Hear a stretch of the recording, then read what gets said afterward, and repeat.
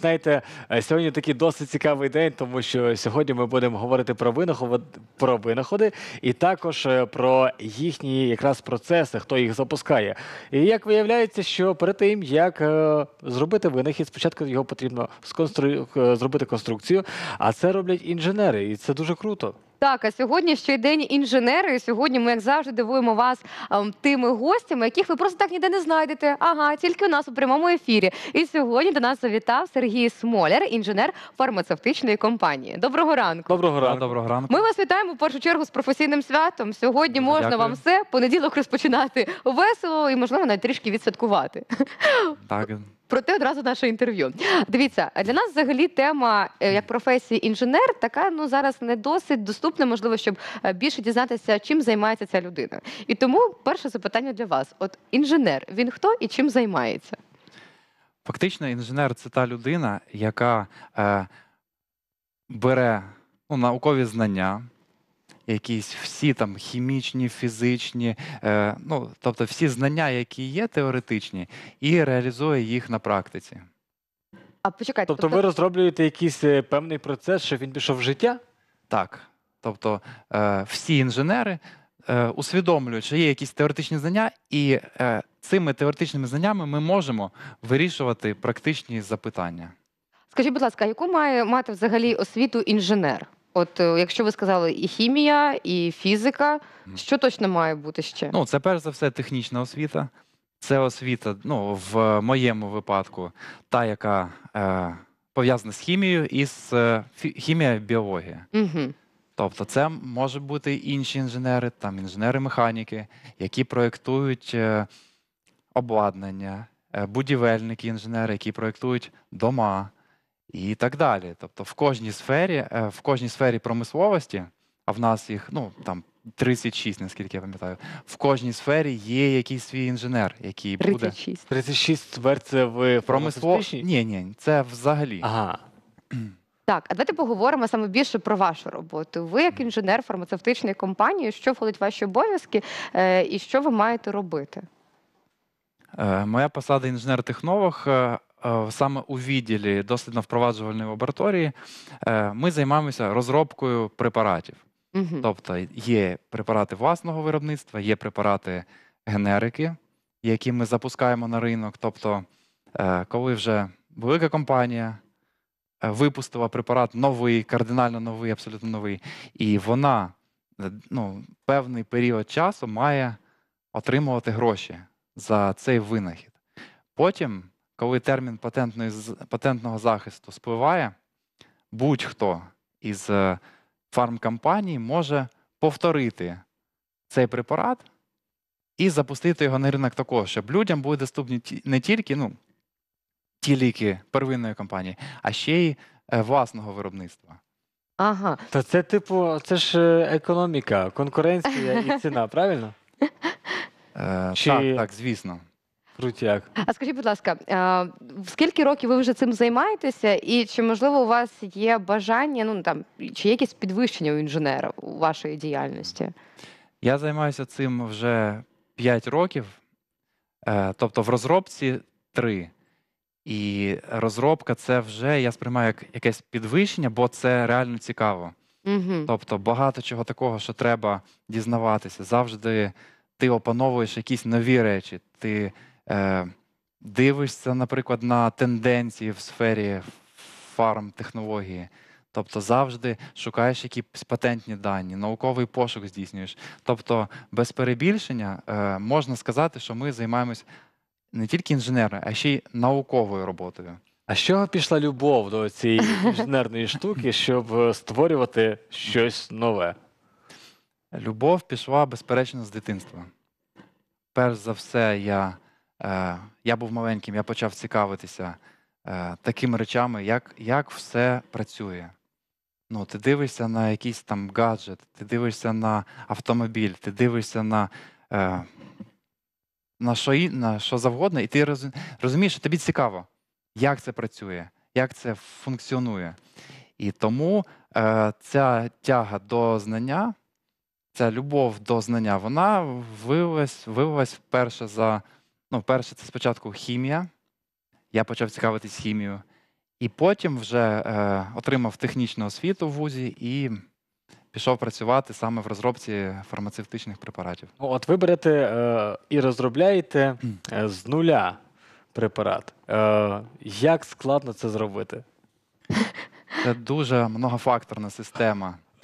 Ну, знаєте, просто Менделєєв Просто в мене зараз в і побачив, просто... там, знаєте, кажуть, у вісні оту таблицю та, свою придумав. А як от взагалі, з чого розпочинається ваше створення продукту? Ви аналізуєте, що потрібно, і починаєте якось поєднувати знаннями? Чи, чи як це ходить? Чи можливо випадково щось намішали? До речі, Менділеєв дуже багато про це думав, щоб йому воно наснилось. а, так, а спочатку. тепер діліться своїми секретами. Я теж про це думаю, і не тільки на роботі. Е, Я бо коли сплю. Я буває просинаюсь серед ночі і розумію, що я знаю, як зробити певні нюанси в роботі. Е, Як це починається? В цілому е, процес іде так, що ми, наприклад, беремо. Е, в нас є бажання випустити на ринок якийсь препарат. Угу. Ми аналізуємо, чи є він в патентному захисті.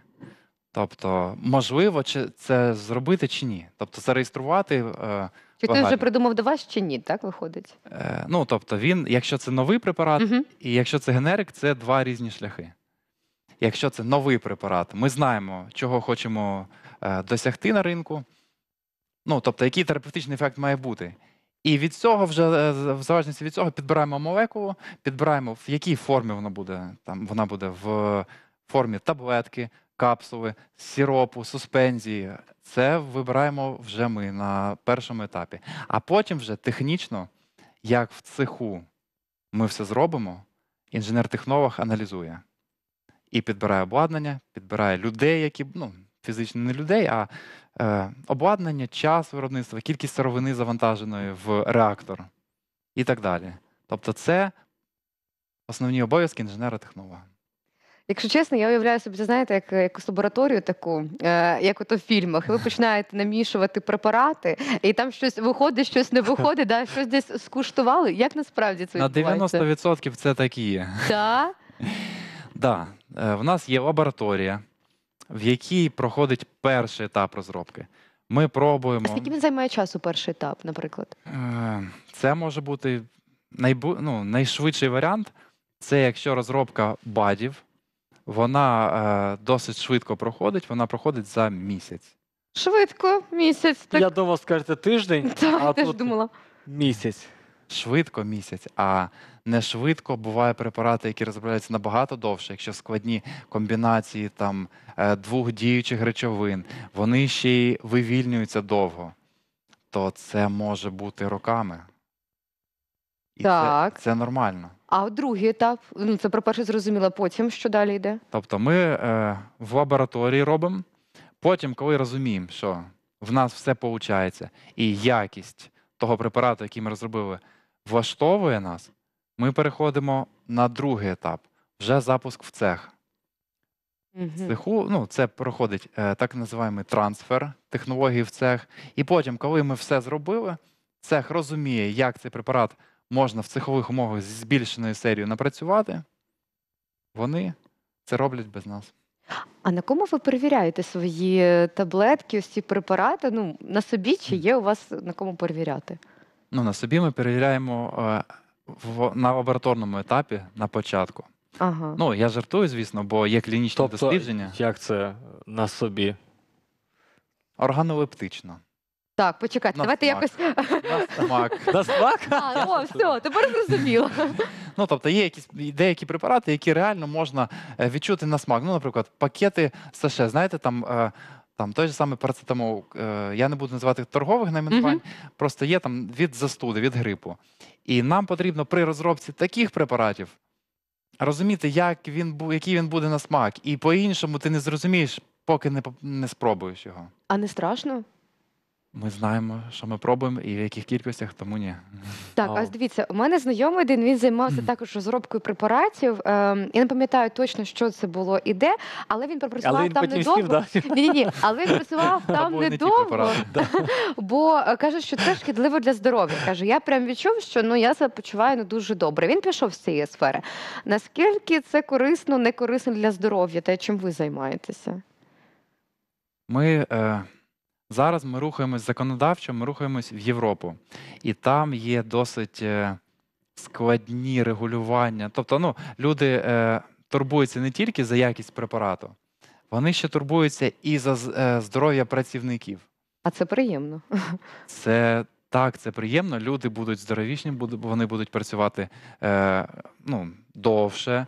І ну, це завжди вигідно для компанії, щоб в них був здоровий персонал, який не буде там кожного дня бігати до лікарів і питати, що це зі мною, я щось кашляю, наприклад. Угу. Тобто, і тому створені системи, там, системи вентиляції, які допомагають там е, зайвий раз не дихати тим, з чим ти працюєш. Я знаю на деяких компаній, які працюють там е, зварювальниками і тому подібне, їм дають е, молоко за шкідливість. Ось вам так само дають якісь бонуси чи ні? Ми п'ємо воду. Воду, да? Да. Вода Ну, допомагає. також непогано. У нас немає на самом, на самом деле, у нас немає необхідності е, пити молоко, бо е, якщо ти дотримуєшся всіх правил, ти робиш те, ну там використовуєш засоби індивідуального захисту, то необхідність в молоці вона відпадає. Давайте поговоримо про переваги та недоліки вашої сфери. Ну, у будь-якій ж сфері є свої плюси і мінуси. Якщо говорити про переваги, наприклад, що є з переваги, давайте зачепимо обов'язково питання заробітної плати. Чи виправдана вона е, вашим затраченим часом? Е, Перевагами, вперше за все, є те, що робота, е, яку я виконую, вона досить цікава. Вона не тривіальна, неоднозначна. Ти, в тебе дуже багато варіантів. Ти йдеш на роботу, ти знаєш, що потрібно зробити, але ти можеш не знати, як це зробити. І це досить цікаво. Це інтригуюче, це якісь завжди якісь виклики. Це те, що ну, ти розумієш, що ти ходиш по вістрю науки. Тобто ти е, намагаєшся щось відкрити для себе кожен день. Це є безперечним плюсом. Але це є і мінусом. Ви, спр- ви спитали про недоліки, Так. це мінус, бо це дуже складно, емоційно, якщо ти не знаєш однозначно, як це зробити. І буває таке, я казав, що просинаюсь вночі і думаю про роботу. Це ненормально, але я буває думаю про роботу. А скажіть, будь ласка, е, заробітня плата вона виправдовує ваш затрачений час, ось ці ваші всі переживання, чи хотілося б більше? Людина завжди хоче більше, це факт. І в принципі в фармі е, є можливість е, рости і в плані заробітної плати також. І ну, те, що зараз е, у мене виходить, я, я задоволений, але це не зупиняє мене від подальшого розвитку. А у вас буває е, вигорання? Тобто хочеться інколи сказати все, я більше не працюю, е, я йду в якусь іншу сферу, або я буду працювати, якщо я піднімусь на щабель вище. Буває. Звісно, буває. Це пов'язано більше з тим, що в тебе щось не виходить з першого разу. Якщо не виходить з першого, з другого або з десятого разу не виходить, то ти думаєш, блін, як це напряжно, як це емоційно некомфортно. Тоді починаєш думати про інші сфери, про те, як знайти себе там десь інде. Але потім, коли вже ти заспокоюєшся, йдеш додому. На ж вихідні, думаєш на- про роботу, да? поспав, подумав трішки про роботу, вийшов на роботу і розумієш, що в принципі завжди є якісь варіанти, є якісь рішення, є те, що ти можеш зробити і вирішити саме тут. Ось ви зараз інженер-технолог, правильно? Так. Ось, а чи хотіли б ви, наприклад, е, з- ну, змінити свою перекваліфікацію, наприклад, зробити? Чи є, наприклад, куди зростати? Ну, це знаєте, наприклад, як там е, ти одразу гостьовий редактор, потім ти там Мгм. стаєш іще кимось, потім там, можливо, ведучим, і так і так і далі. Чи є, можливо, у вас ось такі е, теж рівні, куди хочеться зростати?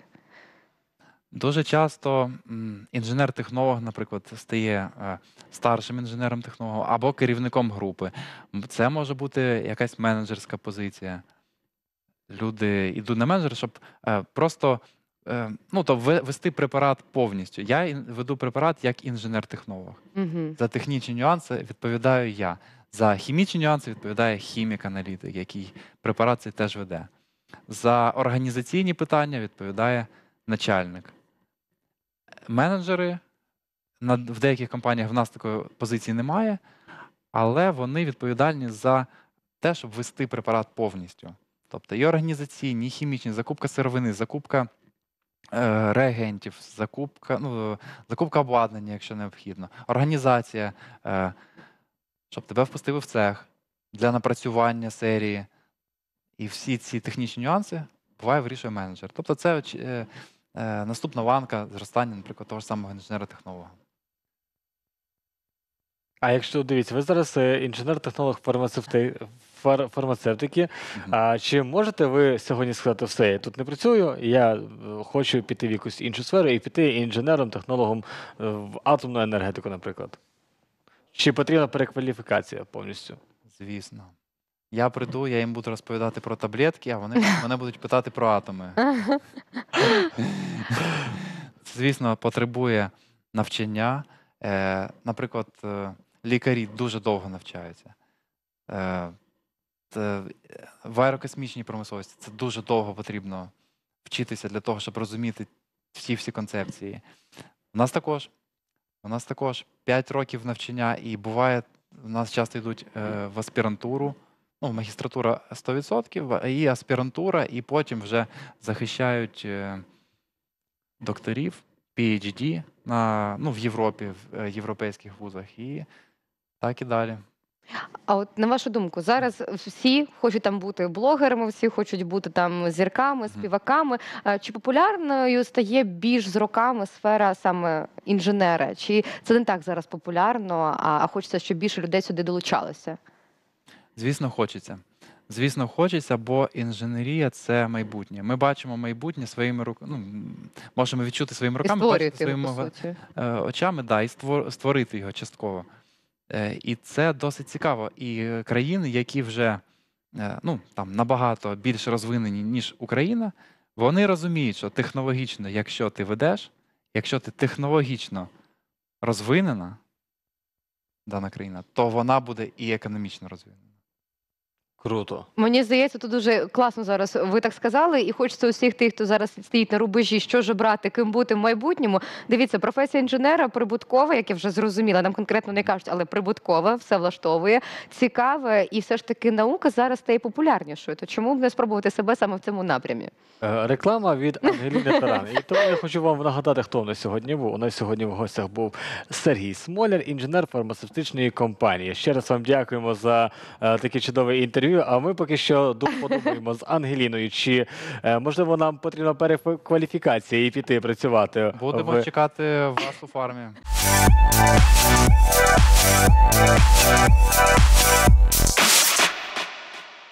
Друзі, а ми ще раз дякуємо за те, що ви переглянули це відео, і обіцяємо, що і надалі будемо готувати для вас корисну та цікаву інформацію.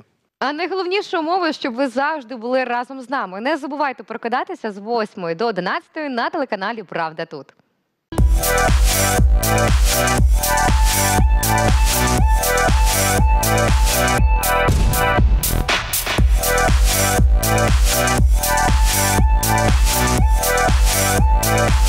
right back.